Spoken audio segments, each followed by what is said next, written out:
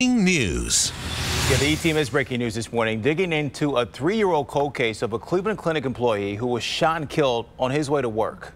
Stephen Halton's family tells us a tipster came forward earlier this year with information that could be crucial to breaking this case, but they're telling the E-team's Megan Hickey that investigators failed to follow through.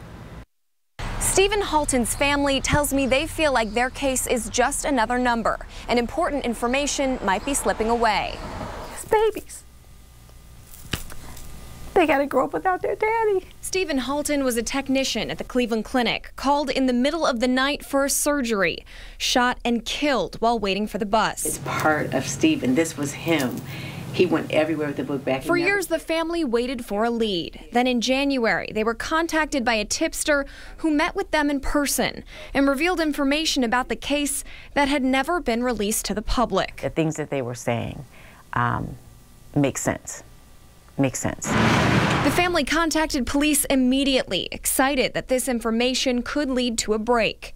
But seven months later, the system is not working at all. The tipster said he is still waiting to give an official statement. If murder is not a high priority case, then what is? A detective assigned to the case declined to comment to News 5. What are you doing now? A police spokesperson told me that the tipster's information would be forwarded to homicide detectives. But Halton's family feels like their case has been all but forgotten. Make a phone call, connect, talk. We even offered to bring them to you.